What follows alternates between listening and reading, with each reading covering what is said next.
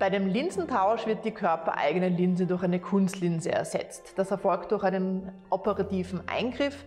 Dieser wird in Lokalanästhesie durchgeführt, das heißt, die Patienten bekommen zur Betäubung des Auges keine Spritze, sondern nur Augentropfen und sind bei der Operation dann schmerzfrei.